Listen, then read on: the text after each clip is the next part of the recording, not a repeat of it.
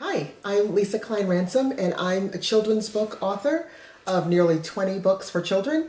Some of my titles include the middle grade novel Finding Langston, um, Overground Railroad, Before She Was Harriet, my very first book, Satchel Paige, and the story of the incredible tennis star sisters, game changers, Venus and Serena Williams. Hi, I'm James Ransome. I'm married to this beautiful woman here, and I'm an illustrator, and I've um, illustrated lots of books, um, almost 70 books um, to date. And some of my books are, um, this is my newest one, which I wrote and illustrated, called The Bell Rang. This book won the Coretta Scott King Honor for Illustration. And this is, this is The Rope, which is written by Jacqueline Woodson. And my very first book that I it wrote and illustrated is Gunner, Football Heroes.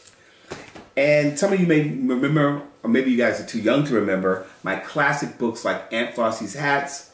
And my very first book I illustrated is Do Like Kyla, which is over 30 years old and still available in bookstores. So James and I often collaborate on books together. I write and James illustrates, but we are also the proud parents of four wonderful children. So I have known I wanted to be a writer since I was very young. Um, I spent most of my time when I was young in the library where I grew up in Massachusetts, uh, reading books uh, about Pippi Longstocking and Laura Ingalls Wilder. Uh, but I went off to college, took a lot of writing classes, and then I spent some time teaching.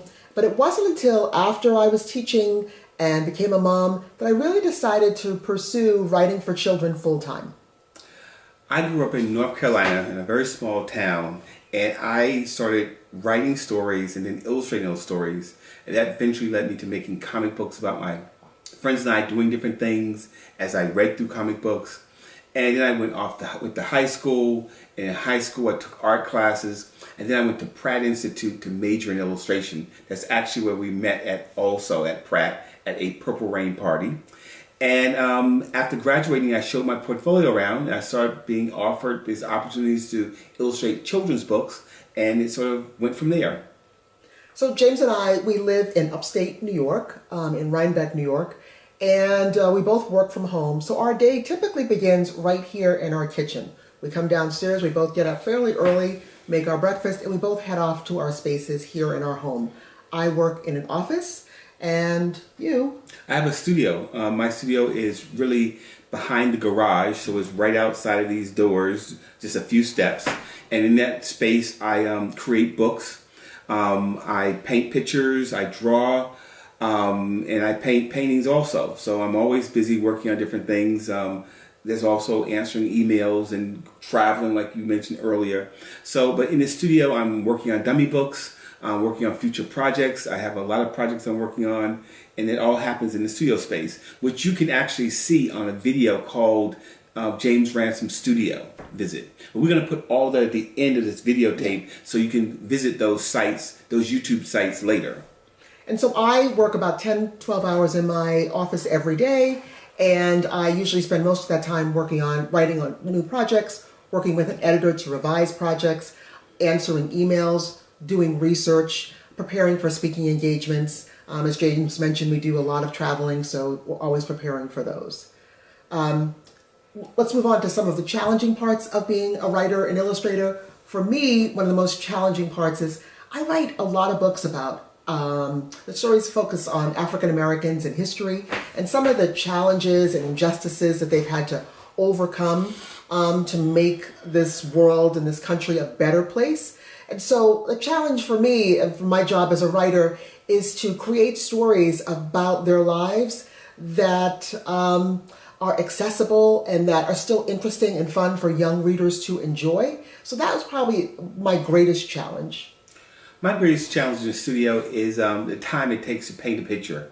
You know, um, sometimes it could be a scene, uh, many scenes with lots of people, um, lots of cars and uh, buildings and things like that. And it takes a while to paint those things. So it's usually a very long day and very sometimes a very little is accomplished in a day. Although you may put in eight hours, just a small portion of painting is completed.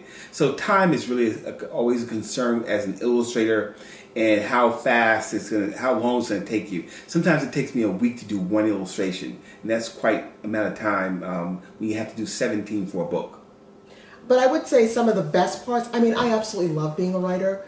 Probably one of the best parts about being a writer is that I'm able to um, tell stories that I want to tell. I'm able to learn something new every day.